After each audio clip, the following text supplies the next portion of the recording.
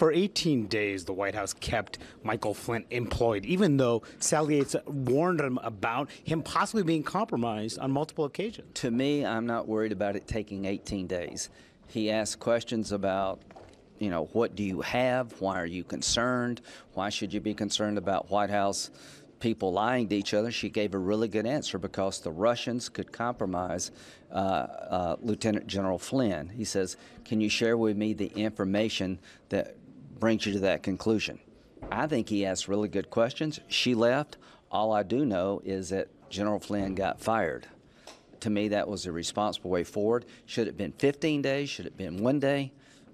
To me, that's not the concern. But he Do you could have think Michael access to was classified compromised? information. Do you think Michael Flynn, Flynn was compromised? I think she makes a very good case that anybody in that situation could be compromised. So Sally Yates did the right thing. I thought uh, the the uh, White House General Counsel asked the right questions and put a process in place that led us to General Flynn being dismissed, and it was the right decision to dismiss him. I got to go. But, but Senator, I one, gotta one- go. I gotta go.